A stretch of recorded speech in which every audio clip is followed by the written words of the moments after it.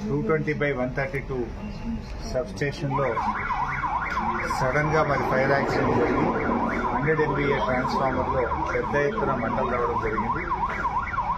మాకు తెలిసిన సమాచారం మేరకు సాయంత్రం ఆరు బాబు ఆరు గంటల ఇరవై నిమిషాల సమయంలో కారణాలు ఏదైనా కూడా హండ్రెడ్ ఎంబీఏ ట్రాన్స్ఫార్మర్లో పెద్ద ఎత్తున మంటలు చెలరేయడంతో విద్యుత్ సరఫరా అంతా నిలిపివేయడం జరిగింది.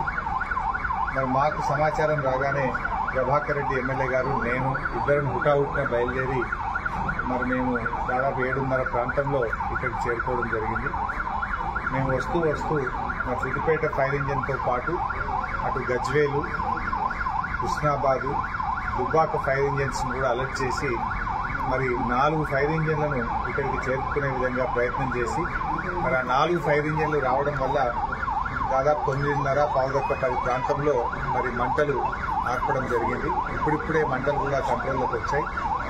పాపం ఫైర్ అధికారులు కూడా మూడు గంటల పాటు నిర్విరామంగా నాలుగు ఫైర్ ఇంజన్లు కూడా కృషి చేసి మరి మంటలు ఆర్పడం జరిగింది.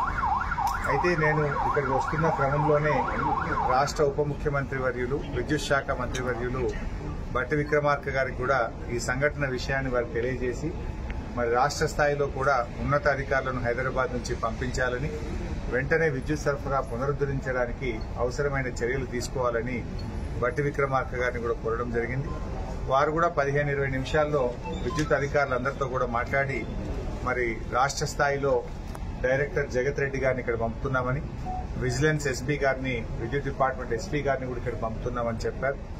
అదేవిధంగా విద్యుత్ శాఖ కార్యదర్శి రిజ్వీ గారితో కూడా నేను మాట్లాడి మరి వెంటనే విద్యుత్ పునరుద్ధరణకు కూడా చర్యలు తీసుకోవాలని చెప్పి నేను వారిని కూడా కోరడం జరిగింది. అయితే ఇప్పుడిప్పుడే మంటలు కంట్రోల్లోకి వచ్చాయి. ఇంకా కొద్దిసేపట్లో అధికారులు అన్ని సేఫ్టీ మెజర్స్ తీసుకున్న తర్వాత విద్యుత్ పునరుద్ధరణ పైన చర్యలు పెట్టడం జరుగుతుంది. మనకు సిద్దిపేట చుట్టూ ఇటు Duddeda one thirty two KV substation ఉంది. అటు జక్కాపూర్ కూడా one thirty two KV substation ఉంది. ఇటు హబ్సీపూర్ కూడా one thirty two KV substation ఉంది.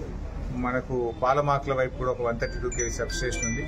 మరి ఈ టౌన్కు ఈ మూడు నాలుగు one thirty two KV substation నుంచి విద్యుత్ సరఫరా పునరుద్ధరించడానికి మరి యుద్ధ ప్రాతిపదికన అటు విద్యుత్ అధికారులు కూడా కృషి చేస్తూ ఉన్నారు. మరి అదృష్టం ఏంటంటే ఒక మేజర్ ఫైర్ యాక్సిడెంట్ తప్పిందని అనుకోవచ్చు. నిజానికి చాలా ఆందోళనకు గురయ్యాం. ఎందుకంటే ఇప్పుడు మంటలు వచ్చింది ఒక హండ్రెడ్ ఎంబీఏ ట్రాన్స్ఫార్మర్లోనే వచ్చింది. ఆ పక్కన ఇంకొక హండ్రెడ్ ఎంబీఏ ఉంది. ఇటు పక్కన ఇంకొక one thirty two by thirty three KV substation ఉంది. పక్కకి ఏదైనా స్ప్రెడ్ అవుతుందేమో అనేటువంటి ఆందోళన టెన్షన్ చాలాసేపు ఉండే.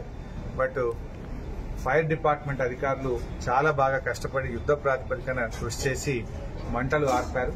బట్ ఏది ఏమైనా ఈ సంఘటన మీద విచారణ జరపాలి. దీనికి కారణం ఏందో కూడా తర్వాత విద్యుత్ శాఖ మరి రివ్యూ చేసి దీని ఇలాంటి సంఘటనలు పునరావృతం కాకుండా చర్యలు కూడా తీసుకోవాల్సిన అవసరం ఉంది. ఎందుకంటే పట్టణ నడిబొడ్డునే ఉంది సబ్స్టేషన్ సబ్ స్టేషన్ ఏదైనా పేలిపోయి ఏదైనా ఇబ్బంది జరిగితే చాలా ప్రమాదం జరిగేటువంటి అవకాశం కూడా ఉండే.